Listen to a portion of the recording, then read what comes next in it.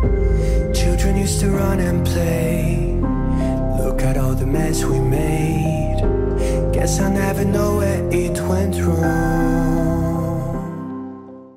Hi guys, welcome back to another video. Today in this tutorial, we're going to be making a simple bubu kaftan dress. Um, for this tutorial i'm going to be making use of this print fabric. I have about six yards of it although we'll only be needing about four to five yards. So um, i also have my measuring materials here to go ahead and cut this out. So the first thing i'm going ahead to do now is to fold this fabric. So i'm going to fold it first into two. As you can see i'm opening it up.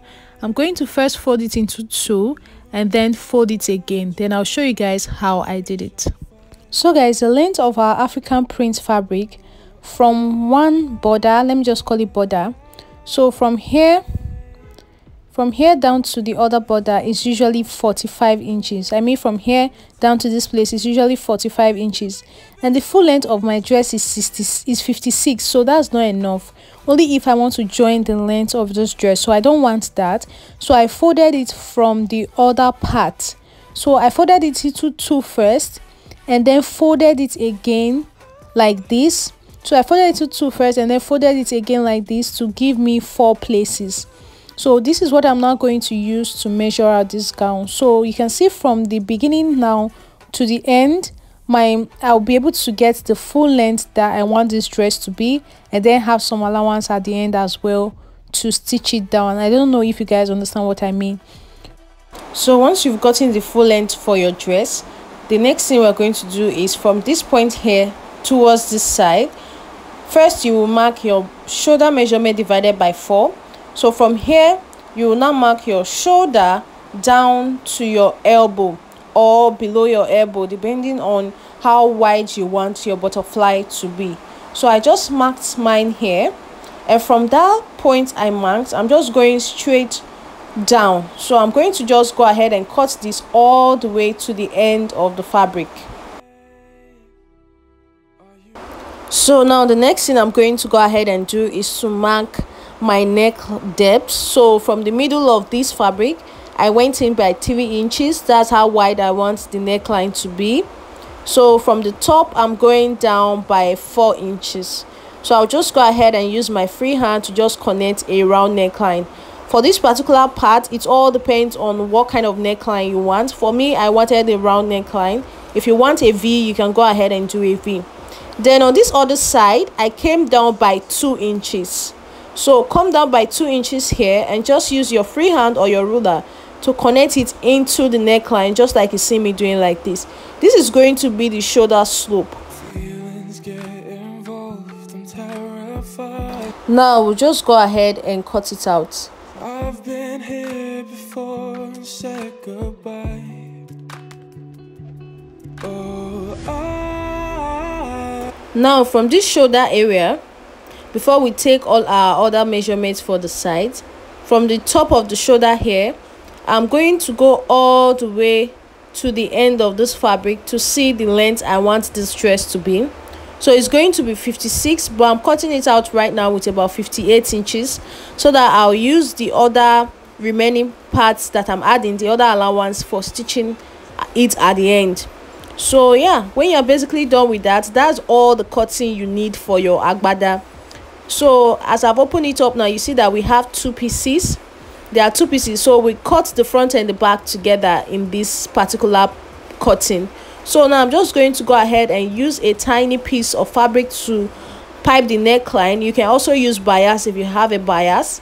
And after piping the neckline i'll go ahead and stitch down the shoulder and stitch down the other side as well so guys after i was done piping the neckline and stitching down the sides this is what it looks like. So now the next thing we want to go ahead and do is this open ends here. We're going to go ahead and just fold it all the way from one end through to the other end. So you just fold it in like this twice and stitch it all the way around to the other end like this. And we're going to do the same thing for the other side as well and then when you're through with that we'll go ahead and fold the ends of the agbada as well just the hem of the dress as well. So guys after stitching it down this is what i have here.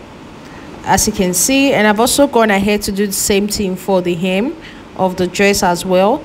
So as you can see this fabric um, i folded the both front and back. You can see how i folded it into two like this so the neckline is folded into two. So i'm going to go ahead and take my body measurements and we're going to be starting from the shoulder. So from the shoulder here i came down to 10 inches which is my bust point here. Again i'm placing the tape on the shoulder. I'm coming down to 15 inches which is my waistline and then to 21 which is my hip point. So i'm just marking these lines across so that you guys can see them so now on this first line I'm marking my bust measurement divided by 4. So this first line is the bust point. I'm marking my bust measurement divided by 4. But because this is an agbada, I'm adding 1 inch to my actual measurement. So I just marked it here. Then on the waistline, I'll also divide my waist measurement by 4. But add 1 inch because this is an agbada and I want it to be free. So I just connected the two lines here now. Then let's come down to the hip. My hip measurement divided by 4 i added 1 inch to it and i marked it as well. And as you can see i'm just connecting a curve to get like my body shape. And from this hip line i'll just go ahead and just slant it out just like you see me doing like this make it wider as you go to the ends of the fabric. So i'm making it wider a little bit as i'm going to the end. But from the end of the fabric you're going to go up by about 9 to 10 inches. I make a point there. Then i'll just curve it like this to meet that point. So my stitching is going to end at that point. We are not marking to the end of the fabric so that you'll be able to walk um, freely on it so after making this slant like this i'm going to measure everything i have here and repeat it for the other side of the fabric and one thing I, i'm sure you must have noticed is I'm making this point in front of the fabric. I'm making it on, on the front part of the fabric, not on the back. This is because I'm going to be stitching this on the front. So I need to be able to see my drawings to stitch it down in front.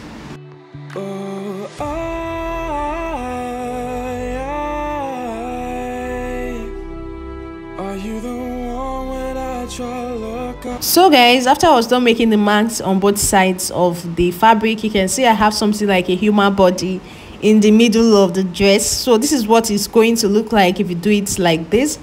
So now i'm going over to the sewing machine. I'm just going to stitch on top of my lines not from the inside on top of the line. So i'll stitch it all the way to where my white stops. Just here where it stops.